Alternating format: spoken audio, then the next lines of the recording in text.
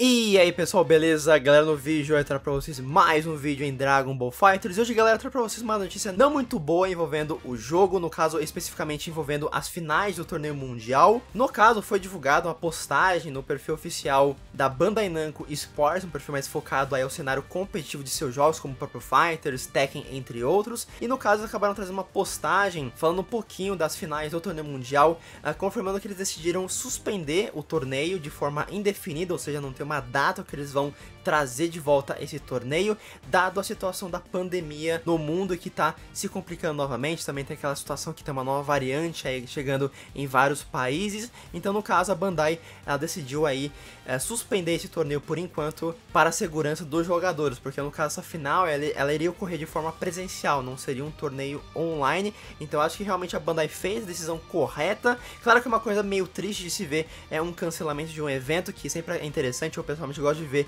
sempre as finais do torneio mundial, uma coisa sempre maneiro, mas realmente a segurança sempre vem em primeiro lugar. E claro que também isso traz uma certa preocupação em relação a novidades envolvendo Dragon Ball Fighters. A gente sabe muito bem que tem a situação da Android 21, que já foi confirmada a sua forma base, o jaleco de laboratório para o jogo, que eu acredito deve ser uma personagem paga, né? até fiz um vídeo discutindo se poderia ser pago gratuita, mas é bem provável que seja uma personagem paga. E normalmente quando acontecia finais de torneio, eles mostravam né, um trailer aí até confirmando uma nova season, que aconteceu anteriormente com a Season 3 e Season 2, então até existiria uma possibilidade, uma expectativa de ter uma confirmação de uma nova season, né? Mas claro que isso traz uma certa preocupação agora que as finais foram canceladas. Mas felizmente, nessa postagem, acabaram confirmando que eles vão é, trazer um evento especial online para substituir o torneio que estava planejado para acontecer durante é, o, o, Dragon Ball Games Battle Hour. Então teria um espacinho do evento para esse campeonato. Eu acho que a Bandai deve estar planejando aí em fazer alguma outra coisa com Dragon Ball Fighters para substituir esse campeonato. E eu acho que mesmo tendo esse cancelamento do campeonato, eu acho que é muito provável que nós veremos algum tipo de informação da Android 21 Jaleco de laboratório.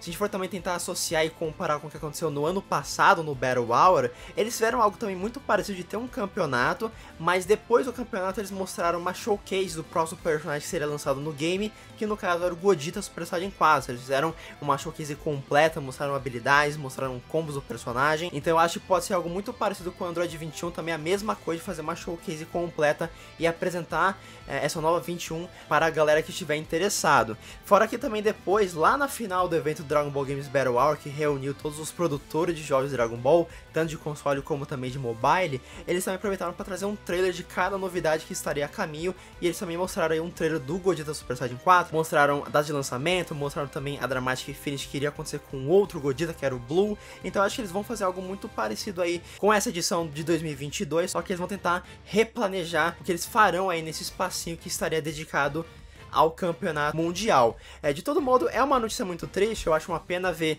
é, esse tipo de cancelamento, mas com certeza a segurança vem sempre em primeiro lugar, então realmente a Bandai fez a decisão correta. Mas por hora vamos ter que esperar para ver o que eles pretendem fazer aí para substituir o campeonato no momento. Eles também confirmaram que eles trarão atualizações sobre essa substituição desse novo evento especial online que, que eles vão colocar. Mas basicamente é isso em relação a essa notícia. Vou ter que agora esperar chegar aí o evento do Dragon Ball Games Battle Hour, que tem agora menos de um mês para chegar. Tô bem ansioso para ver este evento e espero que esse espaço Dragon Ball Fighters fique bem interessante sem o seu campeonato, mas vamos ter que esperar para ver. Mas agora eu quero de vocês, galera, comentem o que vocês acharam dessa notícia que foi divulgada e caso vocês não estiverem inscritos aqui no canal, se inscreva. Se quiser conferir mais novidades, notícias e gameplays, voltando a jogar sendo jogos console ou jogos mobile. É isso, galera. Valeu e até o próximo vídeo.